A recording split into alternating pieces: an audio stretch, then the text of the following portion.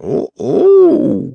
he exclaimed, astonished to find strangers in his greenhouse; and when Hank gave a loud bray the Gardener threw the watering pot over the mule's head and danced around with his fork, in such agitation that presently he fell over the handle of the implement and sprawled at full length upon the ground. Betsy laughed and pulled the watering pot off from Hank's head. The little mule was angry at the treatment he had received and backed toward the Gardener threateningly. "Look out for his heels!" called Betsy warningly, and the Gardener scrambled to his feet and hastily hid behind the roses. "You are breaking the Law!" he shouted, sticking out his head to glare at the girl and the mule.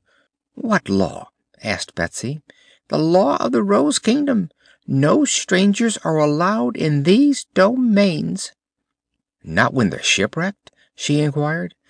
"The Law doesn't accept shipwrecks," replied the Royal Gardener, and he was about to say more when suddenly there was a crash of glass and a man came tumbling through the roof of the greenhouse and fell plump to the ground. End of chapter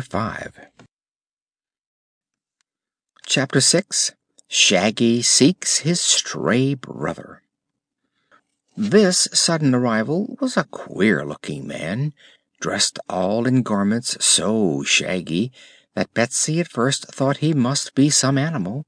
But the stranger ended his fall in a sitting position and then the girl saw it was really a man.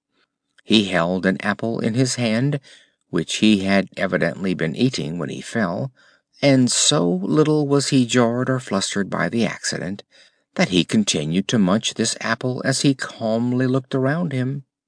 "Good gracious!" exclaimed Betsy, approaching him. "Who are you and where did you come from?"